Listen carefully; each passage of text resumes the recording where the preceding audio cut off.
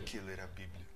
Por que temos abrido nossas Bíblias como se elas fossem catálogos, onde procuramos página por página o que queremos ouvir ou algo que confirme as nossas vontades?